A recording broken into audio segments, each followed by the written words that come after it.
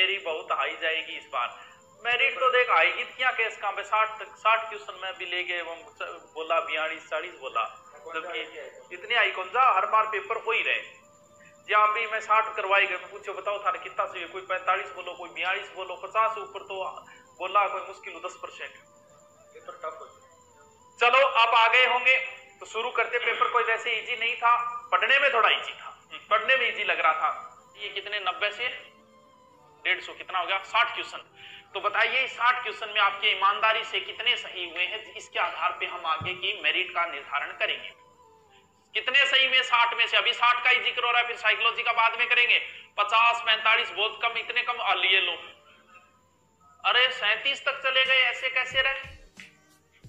त्रेपन त्रेपन वाला अच्छी पोजीशन में है।